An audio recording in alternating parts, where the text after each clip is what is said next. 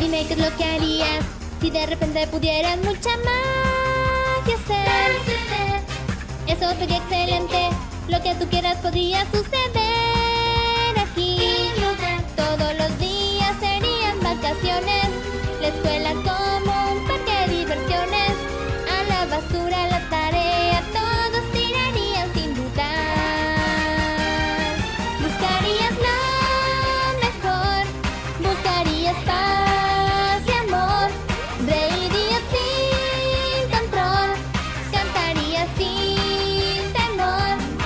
La profesora regañona no te volvería a molestar.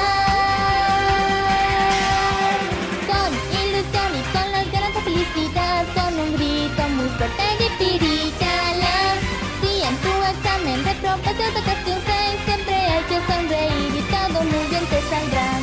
Vuela, corre, salta y el destino te ayudará porque él sabe bien que